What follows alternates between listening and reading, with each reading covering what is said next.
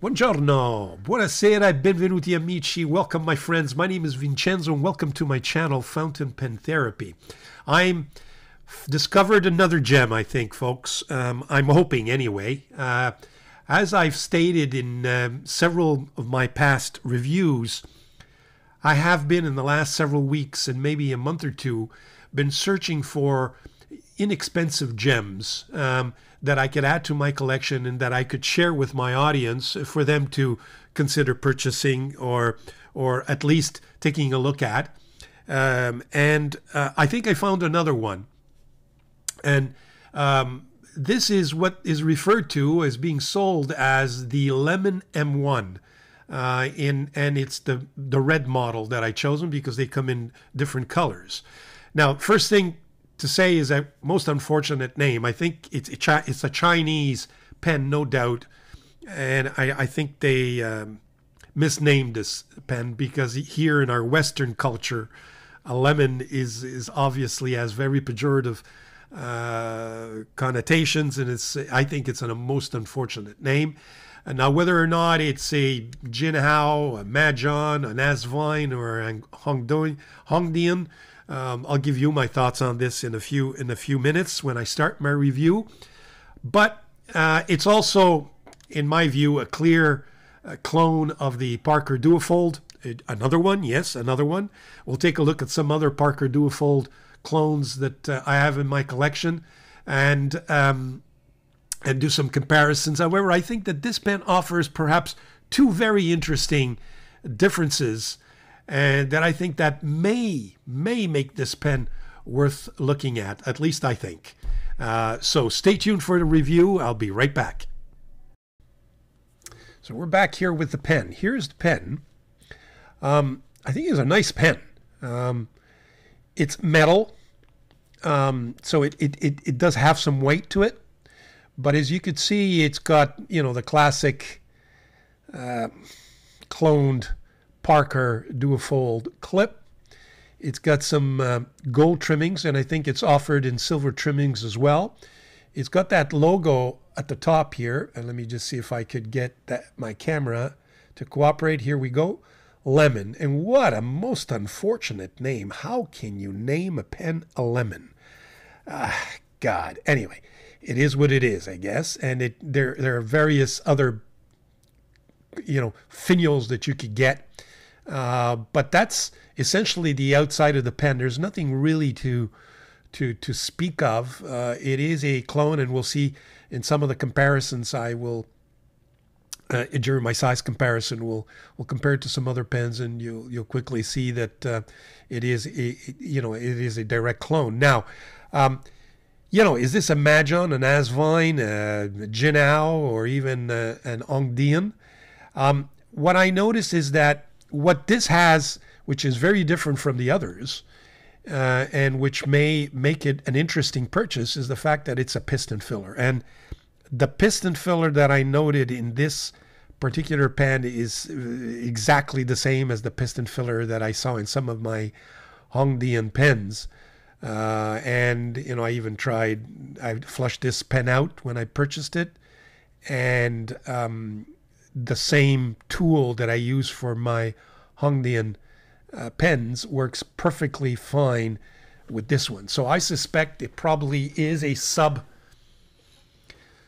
sub branding of an Hongdian. Um, and between you and I, they chose the wrong name, Lemon. At least here for our Western culture, maybe it has some significance in in you know in China or in the Eastern side of the world, but uh, that I don't know of. Now, the pen does come in, uh, let me just uh, put on the screen for you.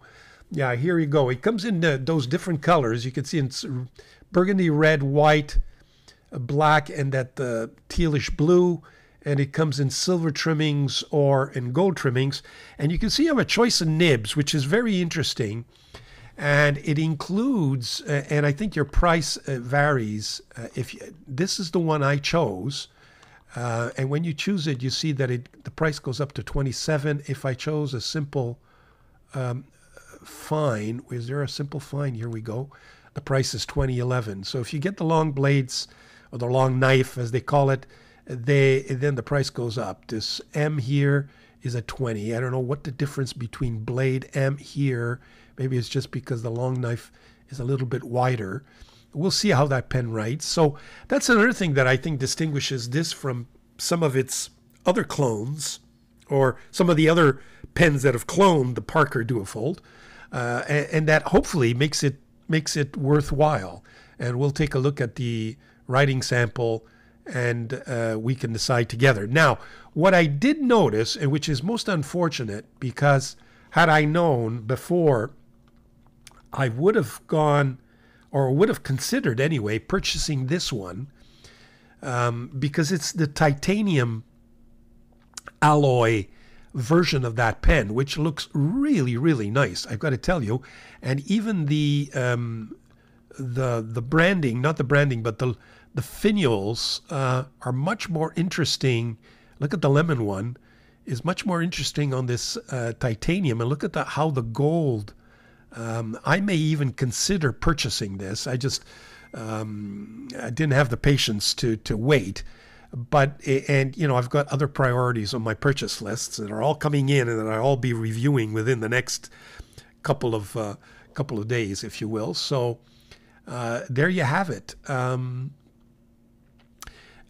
so it, you know, I, I think it makes it a very interesting um, review because it, it is a piston filler and we do have those beautiful nibs and I've chosen one of the larger ones and hopefully that will make a difference. So why don't we go back to my review and take a look at the inside of this pen uh, to see uh, whether or not, in fact, that blade looks as interesting as I want it to be.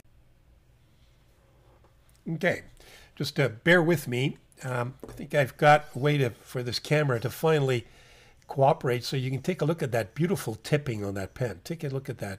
Uh, Notice the feed is a little bit off center, which I'm going to have to adjust before the writing sample. But take a look at that nib. Isn't that beautiful? That's the that's that long blade, and it's it's got a lot of tipping there. So I suspect that this pen will give me a lot of pleasure. At least I'm hoping that it will. I haven't inked it yet.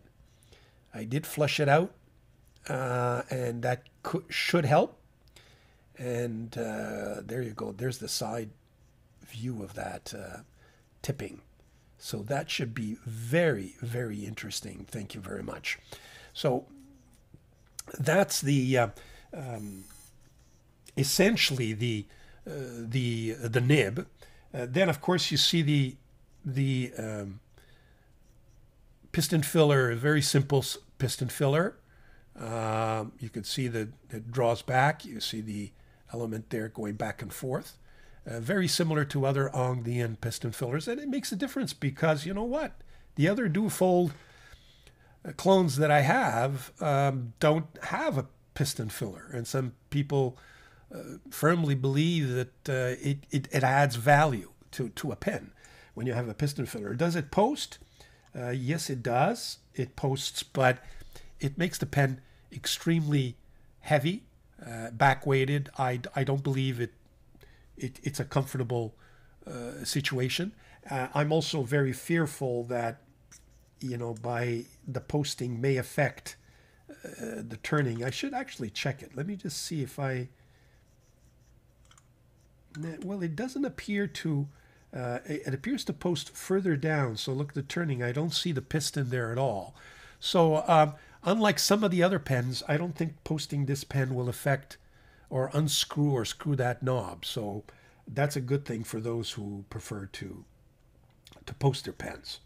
So that's essentially the pen. Now let's take a look at, at the weight of this pen, uh, just uh, just to see where it's situated, because it is a metal pen. Um, me just uh, remove that and put the uh, pen on.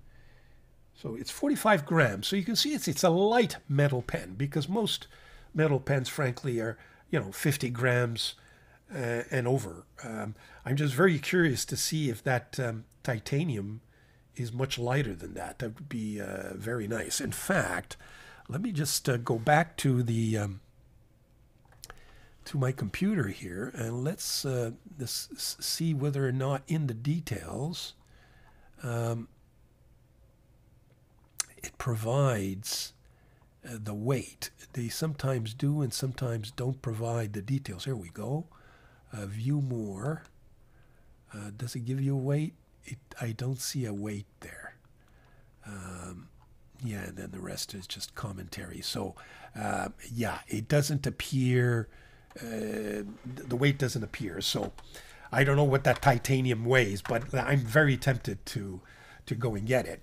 So, that essentially covers the pen um, itself. We'll be right back with a size comparison.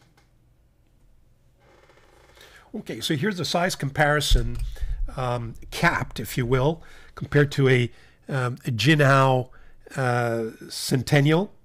Uh, this is the Majohn M600, I believe, S in, in the brown amber and in the blue purplish. Uh, this is an M uh, Majohn M700, which, by the way, I will be reviewing probably next or sometime soon. This one, I forget if this is a Majohn. I found it a very interesting uh, combination of colors. It has it doesn't tell me because it has a Bock Bock nib. Let me just open it up and see if uh, if I see anything that resembles. Man, it's a cheap converter. I'm wondering if this is the if this is in fact a. Um, I can't tell. I apologize. I may I may put it up in the description just so that uh, I can complete this and not mislead you. But I found that very interesting, very interesting pen. And there, of course, is your is your lemon. Uh, again, what an awful name. Uh, it, it, appears the lemon is slightly uh, smaller than all the rest. Uh, it may be comparable to my uh, my Jinhao Centennial there. So there you have it. We'll be right back with a with a um, posted version. Okay, here's the uh, posted version. Now I got to tell you, one, two, three, and four don't post. I, am sorry, the the Majohns don't post at all. So it, it, it they're just lying there. See, they're laying there. But the, so I don't want to mislead you. They don't post. This one posts, uh, and the but barely even that one. Uh, the only two that really post properly are the Jinhao and the, and the lemon. But as you can see, uh, in terms of posting, it's probably the best one in terms of posting. It, it you know, it, it's not as long as even the Jinhao, which is a lighter pen, uh, is a little bit too long in my view.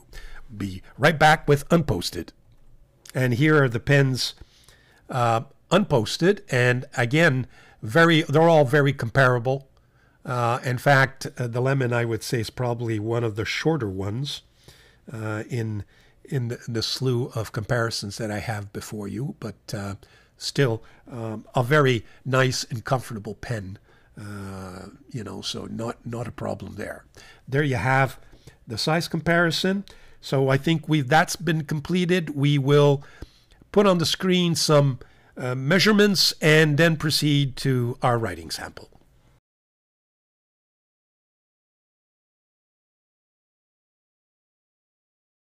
Okay, so we're back with the writing sample.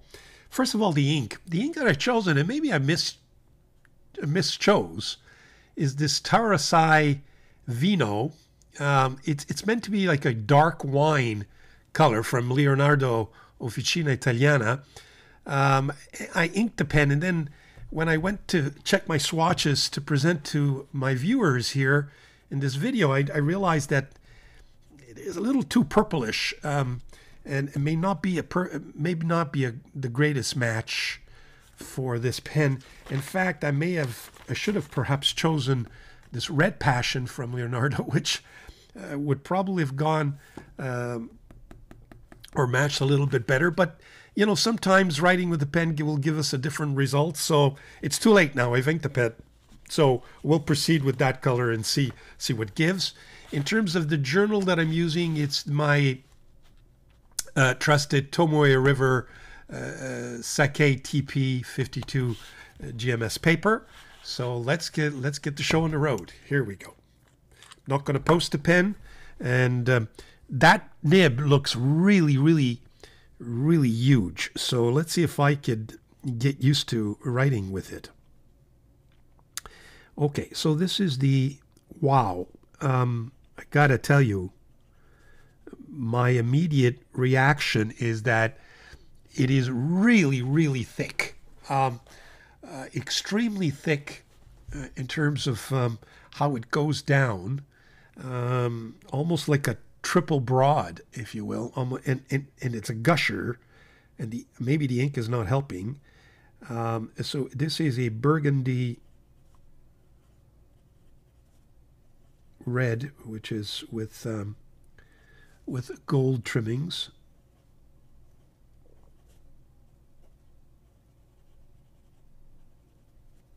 Trimmings, sorry, um, and with a lemon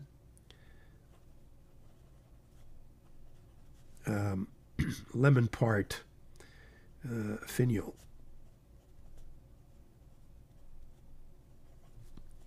Okay, that's the finial on top. Uh, in terms of the nib,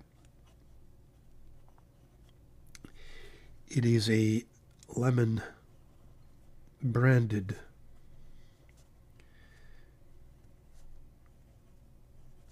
number six. Steel. Double toned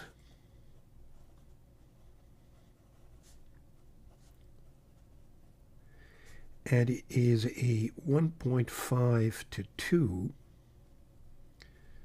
millimeter long blade or long knife as it sometimes is referred to. Um, so that's the nib. now, I got to tell you, uh, very stiff and very thick and very wet. uh, to the point where I, it, it may not be the best pen for me because it's so slippery and uncontrollable and gushing. Um, I wouldn't, you know, be hard for me to say that any nib is not thick enough because, as you know, I like big nibs, but this is this is a stub, which uh, writes very differently uh, and with my hand tremor, I, I I'm not con- in control of the writing, so to speak. Um, in terms of fast writing, I mean, look at folks. This is a buttery smooth nib. Have no illusions. Okay, so this is buttery smooth.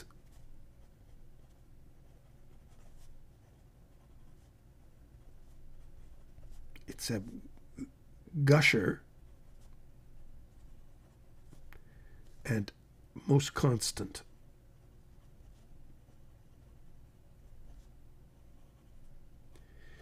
That feed um, just keeps up wonderfully. Now, I know some people like to see a reverse writing.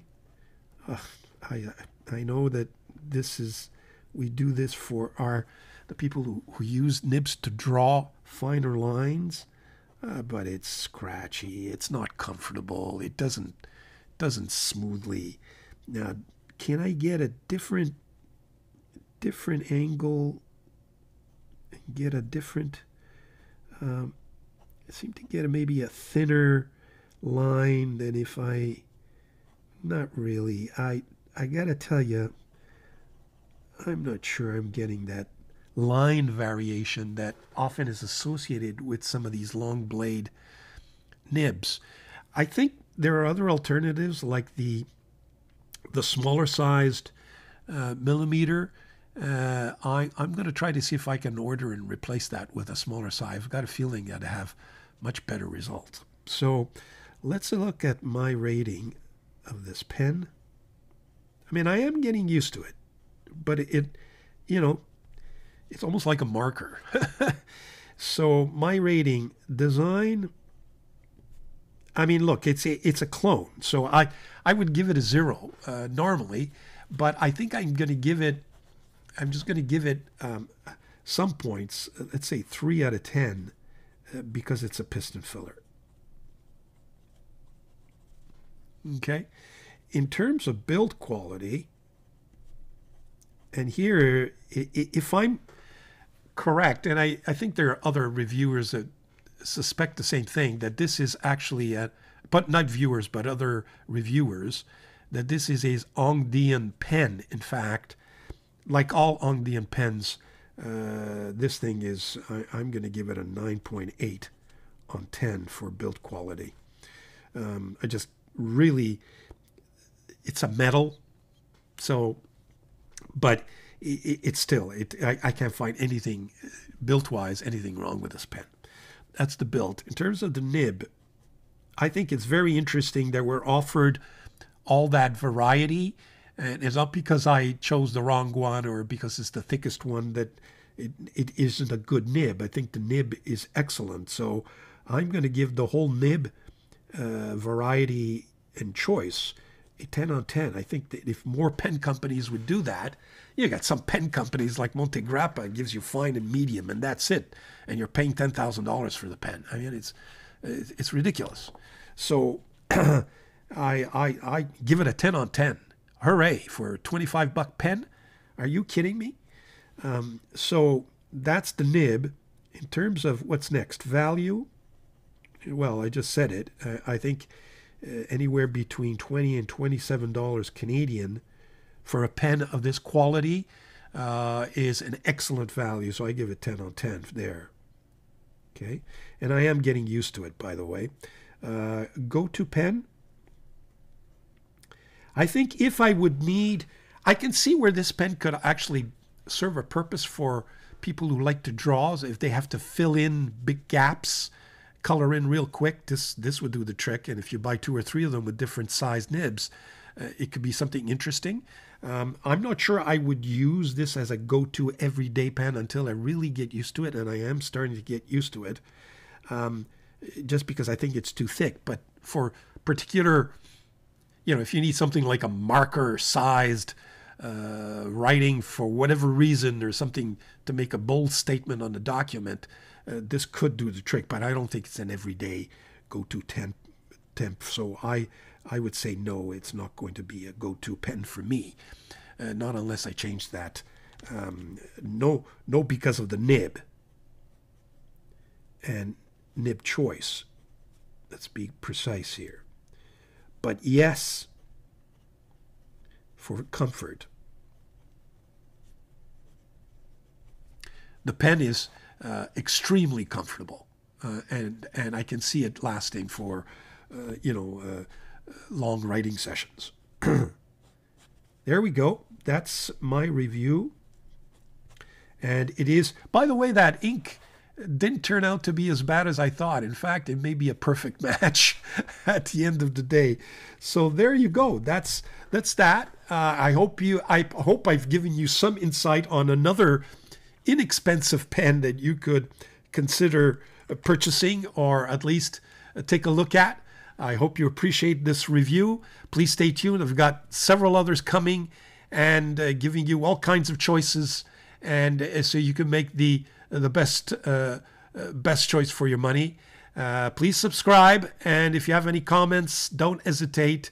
Uh, especially if anybody bought that titanium uh, version of this lemon pen, please let me know so I can make up my own mind whether or not it's worth worth purchasing. Thank you very much, and be well.